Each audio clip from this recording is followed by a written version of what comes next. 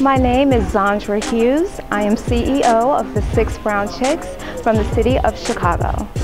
How did I get started? In 2011, I launched a blog with five friends, the Six Brown Chicks. We had a book, a television show, and we were an epic failure. It took Oprah Winfrey and Iyanla Vanzant to help me assume full control of my vision. And today, the Six Brown Chicks is a diverse network of 24 bloggers across the country. And we blog just to share our stories in the name of service.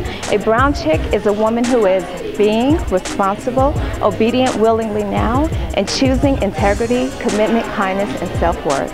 What does giving back to the community mean to me and why is it important? Giving back to the community, to me, means to serve without expecting anything in return. I give my talent as a blogger because I know words have power, and the right blog at the right time can prevent someone from making a very wrong decision. What makes me a Cricket Community Star? I am a Cricket Community Star because Cricket stands for community and connection, and that's what I do. I connect my entire community, and we empower each other by sharing our stories in the name of service. Year, I wrote and produced a play for college kids called the Black Social Network Tour.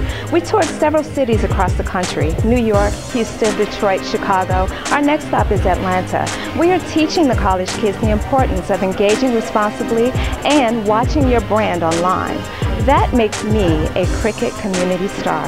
How will the prize package be used to enhance my business or community efforts? I will purchase laptops for my bloggers so that they can be in the community and blog as things happen. Also, I'll be able to take the Black Social Network play to the city of Atlanta for two nights instead of one.